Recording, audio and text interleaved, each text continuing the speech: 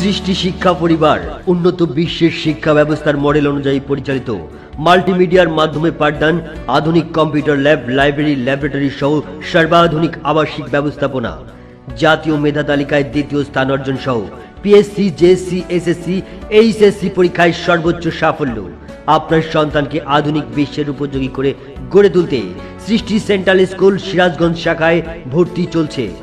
সৃষ্টি central school তেত্রিশ মুজিব সড়ক, মারোয়ারি পট্টি সিরাজগঞ্জ।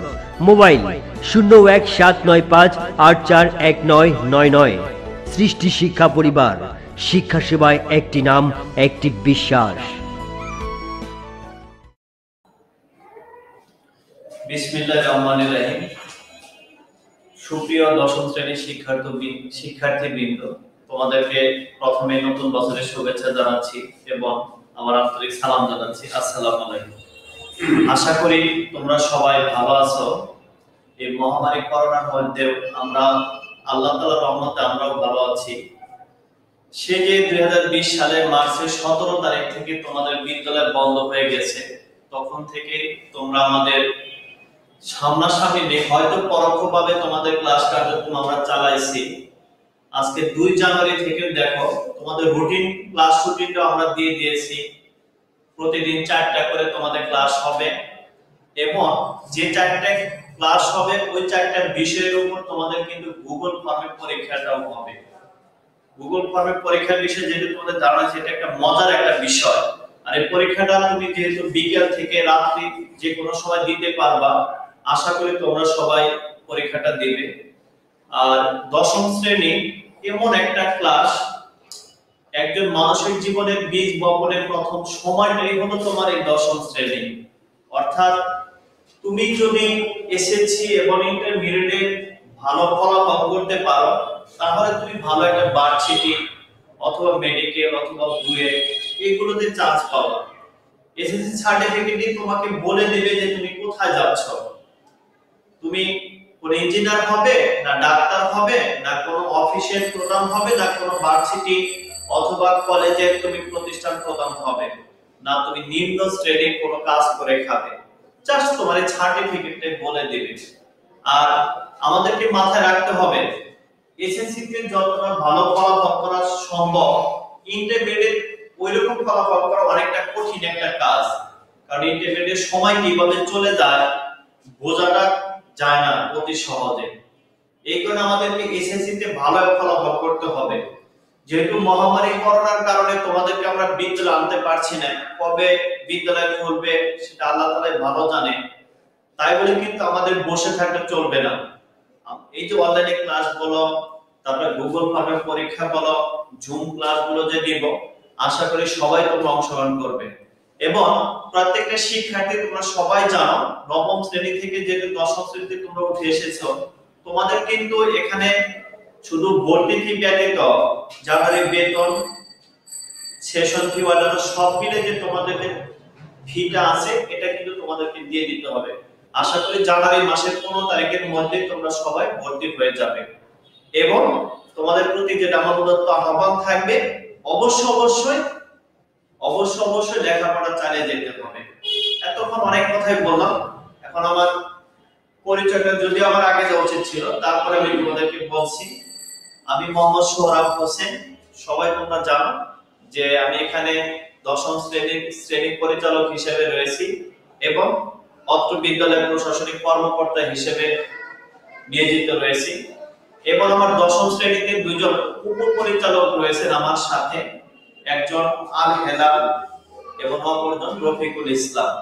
তোমাদের দশম শ্রেণির যত কাজ আমরা তিনজনে করে থাকব। যদি কার কোনো সমস্যা থেকে থাকে বা কখনো থাকে, আমাদের এই তিনজন স্যারকে তোমরা অবগত করবা। তোমাদের বাসায় হোম ভিজিট শুরু করে এভরিথিং এই তিনজন ছাড়া আমরা কাজ করব। তো অনেক কথাই বললাম, এখন একটু পড়াতে চলে আসি। যেহেতু আমরা সবাই জানি ইংলিশ সেকেন্ড পেপার তোমার গ্রামার পার্টে ষাট, এবং রিটেন পার্টে চল্লিশ। আর এই ষাটের মধ্যে যখনই আমার দেখা যায় ষাটের মধ্যে ষাট পাবো, অথবা আটান্ন অথবা উনষাট পাবো, তখন রিটেনে আমি ভালো করতে পারব। দেখা যাবে আমার নাইনটি ফাইভ এর মতো নাম্বার চলে আসবে। এই জন্য আর এই ষাট গ্রামারের মধ্যে সবচেয়ে সহজ একটা টপিক হলো তোমার ট্যাগ কোশ্চেন এই ট্যাগ কোশ্চেন আবারও তোমাদেরকে শুরু করি। আশা করি তোমাদের যে ট্যাগ কোশ্চেন নোটটা দিছি সবাই সামনে রেখেছো। এখন দেখো, একটু বলি, আবার রিভিশনে পড়াটা আবার আমরা পড়াবো। ট্যাগ কোশ্চেন ট্যাগ শব্দের অর্থ কি?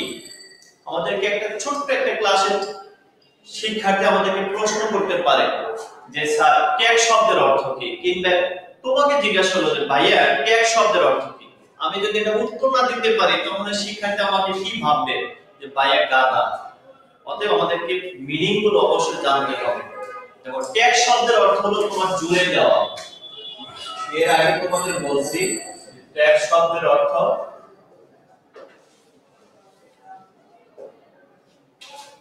জুড়ে দেওয়া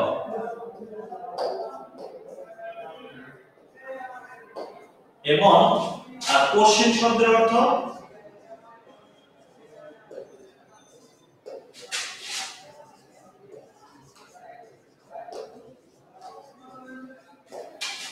কোশ্চেন শব্দের অর্থ প্রশ্ন। সুতরাং কি দাঁড়াচ্ছে ট্যাগ কোশ্চেন শব্দের অর্থ হলো প্রশ্ন জুড়ে দেওয়া। এখন ট্যাগ কোশ্চেন কাকে বলে? কনভারসেশন কনভারসেশন কি? কনভারসেশনের বাংলা মিনিংটা হলো তোমার আলাপ আলোচনা করা বা কথোপকথন। সেই জন্য বলছে যে কনভারসেশন বা আলাপ আলোচনা করার সময় বা কথোপকথনের সময় বাক্যের শেষে যে সমর্থন সূচক প্রশ্ন জুড়ে দেওয়া হয় তাকে বলে ট্যাগ কোশ্চেন যেমন আমি এখানে যদি একটা উদাহরণ লিখি, দেখো হি ইজ এ স্টুডেন্ট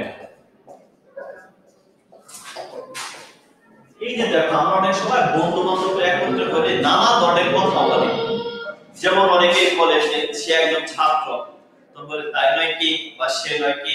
এই তো অনেক সময় যে কথাগুলো বলি, এগুলো কিন্তু তোমার ট্যাগ কোশ্চেন সেই জন্য বলছে যে কনভারসেশন বা আলাপ আলোচনা করার সময় বাক্যের শেষে যে সমাধান সূচক প্রশ্ন জুড়ে দেওয়া হয়, তাকে ট্যাগ কোশ্চেন বলে। ট্যাগ কোশ্চেনে কিছু বৈশিষ্ট্য আছে। আমাদেরকে এগুলো, প্রথমে এগুলো আমাদেরকে মনে রাখতে হবে। কি বৈশিষ্ট্য দেখো? সেন্টেন্সটা পজিটিভ থাকলে ট্যাগ করতে হবে নেগেটিভ আমাকে এই জিনিসটা মাথায় রাখতে হবে। যদি আমার সেন্টেন্সটা তোমার পজিটিভ থাকে ট্যাগ করতে হবে নেগেটিভ আর সেন্টেন্সটা যদি নেগেটিভ থাকে ট্যাগ করতে হবে পজিটিভ তৃতীয়ত আমাকে মনে রাখতে হবে ট্যাগ কোশ্চেনের সাবজেক্ট সব সময় প্রোনাউন হয়, কখনোই নাউন হবে না। যেমন আমি যদি এখানে একটা উদাহরণ লিখি তোমার Robin has finished the work Robin has finished the work আমি দেখো রবিন কি? নাউন না? নাউন এখন আমি যখন ট্যাগ কোশ্চেন করব ট্যাগ কোশ্চেন সাবজেক্টটা কিন্তু প্রোনাউন হয়ে যাবে। তাহলে আমরা একটা যে মাথায় রাখব, সব সময় সেন্টেন্সটা যদি পজিটিভ থাকে ট্যাগ হবে নেগেটিভ সেন্টেন্সটা যদি নেগেটিভ থাকে ট্যাগ হবে পজিটিভ তৃতীয়ত ট্যাগ কোশ্চেনের সাবজেক্ট সব সময় কি হবে? ট্যাগ কোশ্চেনের সাবজেক্ট সব সময় প্রোনাউন হবে। এখন দেখো ট্যাগ কোশ্চেন গঠনের নিয়ম। আমাকে অলওয়েজ টাইম নিয়মটা করে রাখতে হবে। উদাহরণ, সেটা বইয়ের যে কোনো পাতায় যে দিক না কেন। উদাহরণ মেইন ফ্যাক্টর না। আমি যদি নিয়ম পারি, আমি এভরিথিং পারব। দেখো, প্রদত্ত সেন্টেন্সটি অপরিবর্তিত অবস্থায় বসে। রুল 1 এ আছে। আমার এখানে দেখো হি ইজ স্টুডেন্ট এইটা তো প্রশ্ন। প্রশ্নের মধ্যে আছে হি ইজ স্টুডেন্ট আমি খাতাতে এটা লিখলাম হি ইজ স্টুডেন্ট এই জন্য বলছি প্রদত্ত সেন্টেন্সটি অপরিবর্তিত অবস্থায় বসে, তাই না? বসাইছি। কমা বসে ট্যাগ কোশ্চেন বসে প্রশ্নবোধক চিহ্ন বসে। সেজন্য বলছি যে আমরা নিয়মগুলো মনে রাখব যে প্রদত্ত সেন্টেন্সটি অপরিবর্তিত অবস্থায় বসে, কমা বসে ট্যাগ কোশ্চেন বসে প্রশ্নবোধক চিহ্ন বসে। তাহলে দেখো হি ইজ স্টুডেন্ট বসাইছি কমা বসাইছি, এখন এই সেন্টেন্সটা কি? পজিটিভ না নেগেটিভ এই সেন্টেন্সটা দেখতেছি পজিটিভ ট্যাগ করতে হবে নেগেটিভ এখন নেগেটিভ ফর্মটা কি? এখন দেখো, তার আগে একটু বলে নেই। ট্যাগ কোশ্চেন গঠনের জন্য আমরা যে সকল সাহায্যকারী বাদ ব্যবহার করি, যেমন এম ই যার was were have has had shall should will would can would may might must had better had rather would better rather let need dare ought to use to এই যে have to has to had to এগুলোই হলো tag কোশ্চেনের operator এই জন্য বলছে যে, এই অপারেটর অর্থাৎ ট্যাগ কোশ্চেন গঠনের সময় ব্যবহৃত অক্সিলারি ভার্বগুলোকে বলা হয় অপারেটর এই অপারেটর শব্দটার সাথে কিন্তু আমরা সবাই পরিচিত। দেখো, আজ থেকে আমরা যখন সিক্স সেভেন এইটে পড়ি, তখন এই প্রত্যন্ত এলাকায় ডিশ লাইনে ছিল না? এই পরিমাণ দেখা যেত যে বিসি বিসিডি ছিল না। তখন বিসিআর ছিল। আমরা সিনেমা দেখতে গেলে কি করতাম? হয় সিনেমা হলে যাইতাম। কিনবে? যেমন আমার বাড়ি একদম বপুর থানায়। বপুর থেকে একটা বিসিআর যখন ভাড়া আনতাম সাথে একটা লোক পাঠায় দিত। লোক কেন পাঠায় দিত? অর্থাৎ বিসিআরটা যখন চালু করতো, সিনেমা চলছে, হঠাৎ করে মাঝখানে বন্ধ হয়ে গেছে। তাহলে এখন কে ঠিক করবে? ওই যে অপারেটর সাথে আসছে, ও দেখা যায় ওইটা। ওই সিডিটা বের করে দেখা যায় একটা কয়লা অথবা গামছা দিয়ে একটু মুছে আবার দিত, আবার চলতো। ওই যে সাথে যে ছেলেটাকে পাঠাইছে, ছেলেটাই হলো কিন্তু অপারেটর। তেমনি ট্যাগ কোশ্চেন গঠনের জন্য যে অক্সিলারি ভার্বগুলো এগুলোই হলো আমার অপারেটর। আর ট্যাগ ফর্মটা দেখো, যখন সেন্টেন্স নেগেটিভ হবে, তখন আমাদেরকে কি করতে হবে?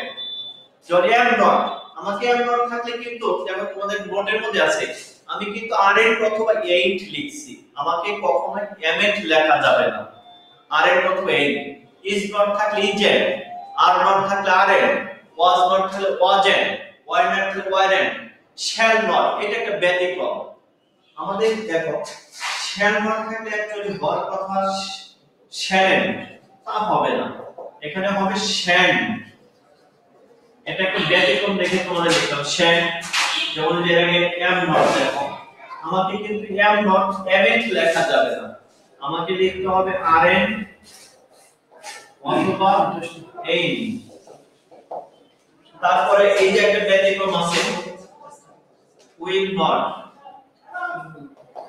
আমাকে লিখতে অন। তারপরে ক্যান নট এই দেখো ডাবল এন নট তা হবে না। হবে ক্যান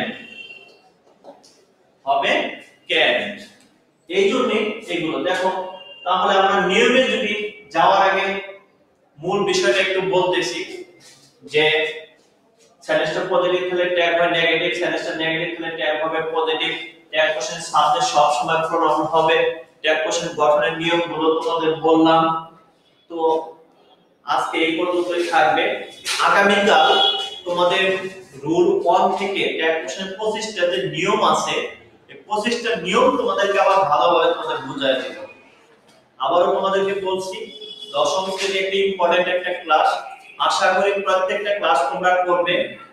সবাই ভালো একটা এসএসসি তে রেজাল্ট করে যাবে। আর আমাদের সৃষ্টি সিরাজগঞ্জ, অর্থাৎ সিরাজগঞ্জ যে সৃষ্টি শাখাটা দুই সাল থেকে কিন্তু আমরা ভালো একটা রেজাল্ট করে আসতেছি। তোমরা শহরে খোঁজ নিয়ে দেখবে, যদি প্রাইভেট প্রতিষ্ঠান বলে ইউটিউব প্রতিষ্ঠান বলো, সালেহা বিএড পরে কিন্তু সবসময় আমাদের প্রতিষ্ঠানের রেজাল্টটা কিন্তু ভালো। আর এই রেজাল্টটা তোমাদের কাছ থেকে আমরা প্রত্যাশা করি। এই আশাবাদ ব্যক্ত করে। আজকে এখানে শেষ করছি। আসসালামু আলাইকুম।